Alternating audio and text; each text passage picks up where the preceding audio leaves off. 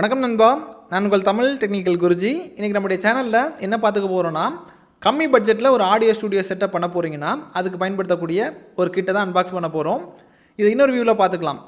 கம்மி பட்ஜெட்டில் ஒரு ஆடியோ ப்ராட்காஸ்டிங் ஸ்டேஷனை நீங்கள் கொண்டு வரணும்னா இந்த மாதிரி செட்டப்பை நீங்கள் பண்ணிக்கலாம். அதாவது எஃப்எம் ரேடியோ மாதிரி. எஃப்எம் ஸ்டேஷன் மாதிரி நீங்கள் இதை பண்ணிக்கலாம். எஃப்எம் ரேடியோ எப்படி பண்ணுறது ஸ்டேஷன் எப்படி பண்ணுறது இதை பற்றி ரெண்டு வருஷத்துக்கு முன்னாடி ஒரு வீடியோ பண்ணியிருப்பேன் பார்க்காதவங்க போய் பார்த்துக்கோங்க.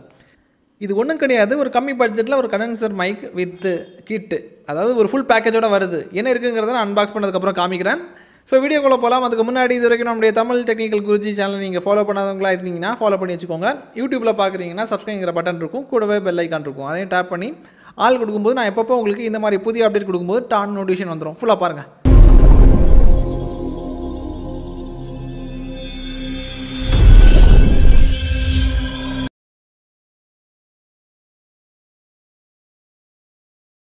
நண்பா இப்போதைக்கு இதை நம்ம அன்பாக்ஸ் பண்ணிடலாம். உங்களுக்காக பாக்ஸை பிரிக்கிறேன். பாக்ஸை ஓப்பன் பண்ணும்போது யூசர் மனுவல் தந்திருக்காங்க. இதை பற்றி எல்லா டீட்டெயிலுமே அதில் இருக்கும். இல்லை இந்த வீடியோ பார்த்தீங்கனாலே உங்களுக்கு புரியும். இதை கனெக்ட் பண்ணுறது ஒரு விஷயமே கிடையாது. இதை தவிர பாப் ஃபில்டர் இருக்குது அப்புறமா விண்ஸ்க்ரீன் கேப் தந்திருக்காங்க.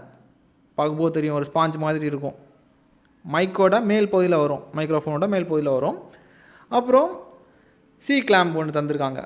டேபிளில் வந்து நம்ம ஃபிட் பண்ணுறதுக்காக அப்புறம் யூஎஸ்பி கேபிள் மைக்ரோஃபோனை கனெக்ட் பண்ணுறதுக்கு அப்புறம் பூம் ஆம் தந்திருக்காங்க. அதாவது உங்களுக்கு ஒரு கம்பி மாதிரி இருக்கும். இது வந்து அட்ஜஸ்ட் பண்ணுறதுக்கு உங்களுக்கு ஏற்ற மாதிரி. அதாவது சேரில் இருக்க உட்காரும்போது ரொம்ப ஃப்ரீயாக வந்து நீங்கள் பேசுகிறதுக்கு உங்களுக்கு ஏற்ற மாதிரி அட்ஜஸ்ட் பண்ணுறதுக்கு இது உங்களுக்கு யூஸ்ஃபுல்லாக இருக்கும். அப்புறமா மைக்ரோஃபோன் இருக்குது அப்புறமாட்டு ஷாக் மவுண்ட் இவ்வளோ தான் உங்களுக்கு அன்பாக்சிங்கில் வரும். இவ்வளோ தான் இந்த பெட்டிக்குள்ளாடி இருந்துச்சு. இனி உங்களுக்கு மைக்கை காமிக்கிறேன். அதாவது மைக்ரோஃபோன் இந்த மாதிரி இருக்குங்கிறத பாருங்கள் பார்க்கும்போது ஒரு ஓரளவுக்கு ஸ்டாண்டர்டாக இருந்த மாதிரி தெரியும். ரொம்ப ப்ரோ லெவலுக்கு போயிடாதீங்க. ஏன்னா ப்ரோ லெவலுக்கு போனீங்கன்னா பதினெட்டாயிரரூபாலேருந்து முப்பத்தி எட்டாயிரரூபா ரூபாய் வரைக்கும் மைக் இருக்குது நாற்பத்தி ஐயாயிரம் மைக் இருக்குது அவ்வளோ பட்ஜெட்டில் நம்ம ஆட்கள் வந்து வாங்குறதுக்கு தயாராக இல்லை.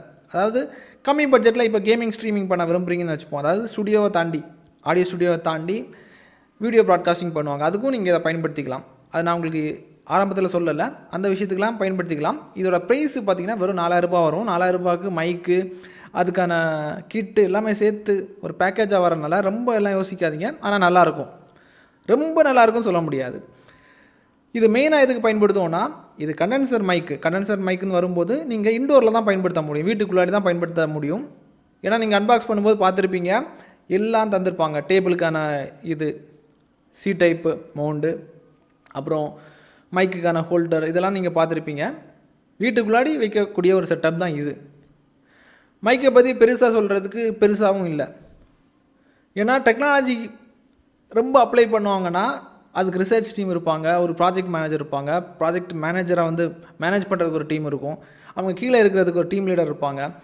அதை வந்து எக்ஸிக்யூட் பண்ணுறதுக்கு அது பெரிய ஒரு ப்ராசஸாக இருக்கும்.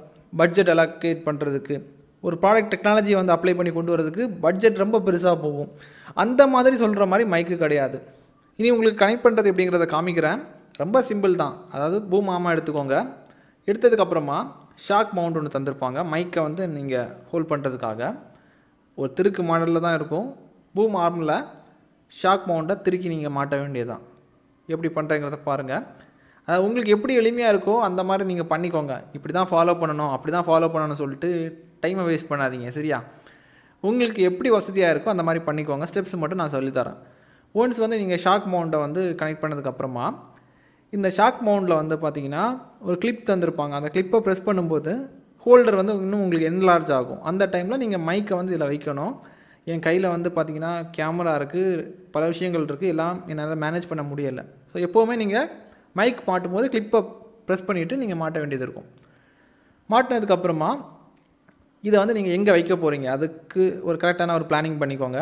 டேபிளில் வைக்க போகிறீங்களா இல்லை டெஸ்கில் வைக்க போகிறீங்களா எப்படி வேணால் நான் உங்களுக்கு எப்படி வசதியாக இருக்கோ அங்கே வச்சுக்கலாம். அந்த முடிவு எடுத்ததுக்கப்புறம் என்ன பண்ணுறீங்கன்னா சி கிளாம்பை எடுத்துக்கோங்க. எடுத்ததுக்கப்புறமா டேபிள் வைக்க போகிறீங்கன்னா டேபிளில் வந்து நீங்கள் கரெக்டாக அது லாக் ஆகிற மாதிரி ஃபிட் பண்ணணும். ரொம்ப டைட்டாக ஃபிட் பண்ணணும். ரொம்ப ஸ்ட்ராங்காக இருக்கணும். ஏன்னா உங்களுக்கு ஏற்ற மாதிரி அதை கொண்டு வரணும்னா வசதிக்கு ஏற்ற மாதிரி மைக் அட்ஜஸ்ட் பண்ணணும்னா ரொம்ப ஸ்ட்ராங்காக டேபிளில் அப்படியே ஃபிட்டாக இருக்கணும் அதே மாதிரி கரெக்டாக லாக் பண்ணதுக்கப்புறமா பூம் ஆர்மா எடுத்ததுக்கப்புறமா இந்த சி கிளாம்போட மேல் பகுதியில் ஒரு ஓட்டை தந்திருப்பாங்க. அதில் நீங்கள் இன்சர்ட் பண்ணதுக்கப்புறம் இங்கேயும் ஒரு லாக்கிங் சிஸ்டம் இருக்கும். திருக்கியும் நீங்கள் லாக் பண்ணிக்கோங்க. ரொம்ப டைட்டாக லாக் பண்ணிக்கோங்க. லாக் பண்ணதுக்கப்புறம் மைக்குக்கு தேவைன்னா நீங்கள் கனெக்ஷன் கொடுத்துக்கோங்க. அதுக்கப்புறம் உங்களுக்கு வந்து பாப் ஃபில்டர் வந்திருந்தாங்க அது வந்து உங்களுக்கு ஏற்ற மாதிரி அதுவும் திருக்கு டைப் தான். ரொம்ப ஈஸியாக நீங்கள் மாட்டிக்கலாம். மாட்டினதுக்கப்புறம் பிசியில் கனெக்ட் பண்ணிக்கோங்க. டிரைவர் வந்து இப்போது விண்டோஸ் செவனுக்கு அப்புறம் உள்ள ஓஎஸ் எல்லாம் யூஸ் பண்ணுறீங்கன்னா ஆட்டோமேட்டிக்காக அது டிரைவர் இன்ஸ்டால் பண்ணிக்கும். தேவைப்பட்டால் நீங்கள் அதாவது ஆடியோ வந்து சில மேனிப்புலேட் பண்ணுவாங்க.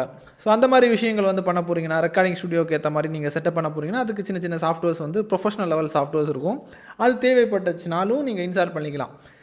இது இவ்வளோ தான் செட்டப் இதுக்கப்புறம் எல்லாமே உங்களுக்கு புரிஞ்சிருக்கும். அதெல்லாம் ஒரு சின்ன ஒரு விஷயந்தான் இவ்வளோ தான் விஷயம்.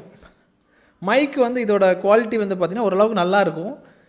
ப்ரோ லெவலுக்கு தயவு செய்து எதிர்பார்க்காதீங்க. அந்த செட்டப் நீங்கள் கொண்டு வர நினச்சிங்கன்னா அதாவது ப்ரோ லெவல் ஸ்டுடியோ செட்டப் கொண்டு வர நினச்சிங்கன்னா ரொம்ப காசு செலவழிக்க வேண்டிய அவசியம் வரும். அது தேவை நமக்கு கிடையாது. இப்போ உங்களுக்கு கம்மி பட்ஜெட்டில் ஒரு ஆடியோ ஸ்டுடியோ செட்டப் பண்ணுறது அப்படிங்கிறத காமிச்சிட்டேன். இது தேவைப்பட்டால் இதோட வைலிங் எல்லாமே வீடியோட டிஸ்கிரிப்ஷனில் கொடுத்துருக்குறேன். தேவைப்படுறவங்க வாங்கிக்கோங்க.